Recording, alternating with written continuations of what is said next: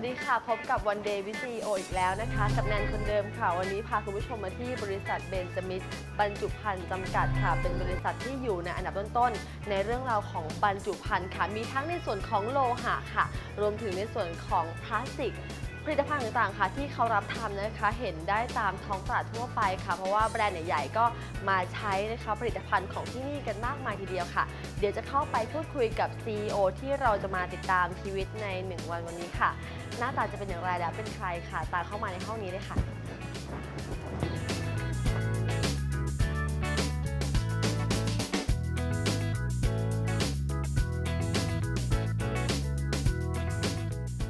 มาในห้องนี้ค่ะ ก็เจอกับ CEO ที่เราจะมาติดตามชีวิตในหนึ่งวันวันนี้นะคะ คุณธงชัยโอลาลิสุพักค่ะ สวัสดีอีกครั้งค่ะครับ สวัสดีครับ นะคะ ก็วันนี้บอกเล่าให้คุณผู้ชมได้ฟังไปแล้วล่ะค่ะ ว่าทางเบนจามิดบรรจุภัณฑ์ทำอะไรบ้างค่ะ แต่ว่าต้องมาถามกันเน้นย้ำอีกทีหนึ่งว่ามีผลิตภัณฑ์แตกลายเป็นอะไรบ้างคะที่นี่ อ๋อที่นี่ของเราก็คือเน้นทางด้านบรรจุภัณฑ์นะครับ อือฮึก็คือเราทำบรรจุภัณฑ์โลหะค่ะ หรือเรียกง่ายๆเรียกง่ายๆว่ากระป๋องกระป๋องเหล็กนี่ะค รับนี่นี่ก็คืที่เห็นอยู่ด้านหลัง หลากหลายรูปแบบค่ะทางด้านนี้ทางด้านนี้ ค่ะเราทำทั้งกระป๋องกลมกระป๋องเหลี่ยมอือฮึทุกอย่างนะฮะแล้วก็เมื่อไม่กี่ปีที่ผ่านมาสักสิปีเราก็ขยายลายอ่าฮะมาทำเป็นบรรจุภัณฑ์พลาสติกอ่าฮะแต่บรรจุภัณฑ์พลาสติกเนี่ยเราจะเน้นเฉพาะเอ่อถ้วยพลาสติก หรือบรรจุภัณฑ์ที่มีการพิมพ์สีจะเป็นอ๋อผลิตภัณฑ์หลักของเรา ถ้าแนนครับอาทิเช่นก็เอ่อบะหมี่กึ่งสำเร็จรูปที่เป็นที่เป็นเอ่อกระป๋องที่เราอ่าทานกันใช่อันนี้นก็ใช่ครับ นะคะหรือว่าแก้วน้ำคอ่าล้ายๆตามใช่โรงหนังแบบนั้นใช่ครับ ก็คือเคลือบสีด้านนอกอ่าใช่ อ่าฮะเพราะแต่ว่า ค่ะ แต่ว่าเรื่องของการทนความร้อนความเย็นเนี่ยก็ที่นี่ก็รับรองอยู่เหมือนกันพอถ้าเป็นบรรจุภัณฑ์ของผมเนี่ยแทบจะ 95%อ่าฮะทำมาจากเม็ดพลาสติก PP อ่าฮะ ซึ่งเม็ด PP เนี่ยเป็นที่ยอมรับในท้องตลาดนะครับว่าอืม สามารถทนความร้อนได้ดี แทบจะดีที่สุดในบรรดาเขาเรียกว่า community community product ทั้งหมดาฮะ ก็คือบรรดา PP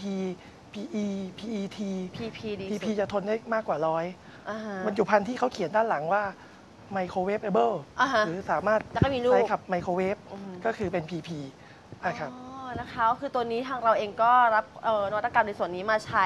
กับอ่าผลิตภัณฑ์เหมือนกันนะคะใช่ก็เดี๋ยววันนี้ค่ะในรายการจะมาพูดคุยกันว่า ในส่วนของกระป๋องโลหะแบบนี้นะคะ มีนวัตกรรมอย่างไรค่ะ รวมถึงในส่วนของแก้วพลาสติกต่างๆเนี่ย ที่บอกว่าเป็น PP เนี่ย PP ดีอย่างไรเดี๋ยวจะมาคุยรายละเอียดกันนะคะ อ่าได้สุดท้ายครับของเบรกนี้ก่อนที่จะไปพบกับสกู๊ปแนะนำบริษัทค่ะขอถามถึงเรื่องของแนวโน้มหน่อย ตอนนี้ธุรกิจของบรรจุภัณฑ์ต่างๆ เนี่ยดีขึ้นบ้างไหมคะ อ๋อธุรกิจบรรจุภัณฑ์ก็คือ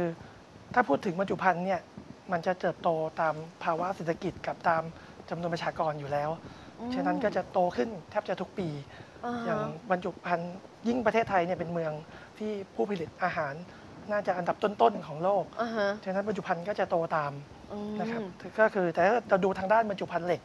ค่ะก็คือมันอาจจะโตได้ไม่เท่ากับบรรจุภัณฑ์พลาสติก อือฮึเพราะบรรจุภัณฑ์พลาสติกส่วนหนึ่งจะสามารถทดแทน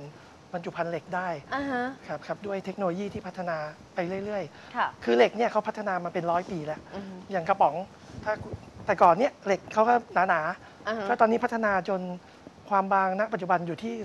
0.15 มิลลิเมตร ศูนย์จุดหนึ่งห้าก็ โอ้โหเรียกว่ามันเหล็กบางแทบจะเท่าเส้นผมแล้วครับอ่าฮะแต่ว่าประโยชน์การใช้งานก็ใช้ได้เหมือนกันฉะนะนั้คะนถ้าเกิดจะลดมากกว่านี้เนี่ยอือฮึ ก็คงค่อนข้างจะลำบาก อ่าฮะ แต่พลาสติกเนี่ยเพิ่งพัฒนามาไม่ไม่กี่สิบปี ค่ะเรียกว่าหลักสิบปี อือฮึ ก็ยังสามารถพัฒนาได้ ม อย่างบรรจุภัณฑ์ของผมเนี่ยก็ค่ะ เขาเรียกว่าบรรจุภัณฑ์ทินวอลแพคเกจิ้งมคือบรรจุภัณฑ์ผนังบาง มซึ่งเวลาผลิตก็จะต้องใช้ใช้เครื่องจักรที่คุณภาพ สูงมากอืมอย่างเครื่องจักรผมจะมาจากทางสวิตเซอร์แลนด์ค่ะแม่พิมพ์ก็ต้องคุณภาพสูงได้ก็มาผลิตบรรจุภัณฑ์ตัวก็เนี้ยเดี๋ยวครัต้บองมาดูกันนะคะคุณผู้ชมก็แปลว่าธุรกิจนี้จริงๆเนี่ยก็สามารถบ่งบอกได้ถึงความเป็นมาในหลาย ๆ อย่างของธุรกิจอื่น ๆ ด้วยเหมือนกันอ่าเพราะธุรกิจนี้เหมือนกับเป็นสื่อกลางที่เชื่อมโยงหลาย ๆ ธุรกิจเข้ามาหากันด้วยอ่าใช่บรรจุภัณฑ์เป็นเรื่องสำคัญมากคุณผู้ชม วันนี้ครับก็นอกจากจะมาแนะนำตัวของ CEO แล้วนะคะจะมา ทำความรู้จักกับธุรกิจนี้แบบละเอียดกันเลยทีเดียวค่ะสำหรับช่วงนี้ค่ะก่อนที่จะไปพักกันเราก็มีสกู๊ปแนะนำบริษัทสั้นๆ มาฝากกันค่ะ แล้วก็ช่วงหน้ามาพูดคุยในเรื่องราวของการค้าการขาย เพราะวันนี้เนี่ยจะมีการขายปลีกด้วย ตอนช่วงบ่ายพอดี เราก็จะไปเก็บภาพในตอนนั้นมาฝากคุณผู้ชมในเบรกหน้าค่ะ บริษัทเบนจามิตรบรรจุภัณฑ์จำกัด เริ่มก่อตั้งในปี 2525 มีความเชี่ยวชาญในการพิมพ์สี การขึ้นรูปกระป๋องสำหรับบรรจุสินค้าต่างๆ และในปี